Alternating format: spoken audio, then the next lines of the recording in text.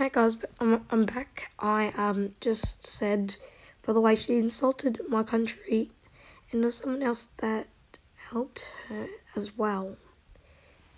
And she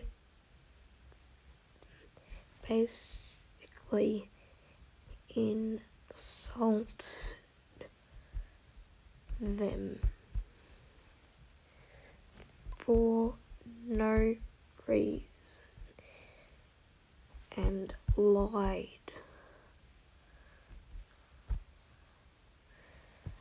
about every last bit.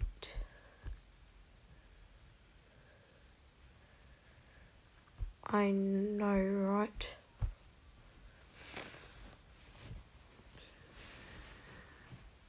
Man, I'm so glad I actually got this girl's friend because, well, you know.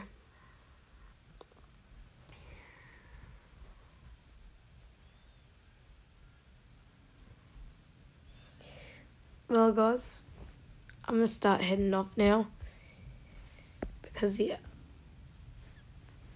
I gotta get going.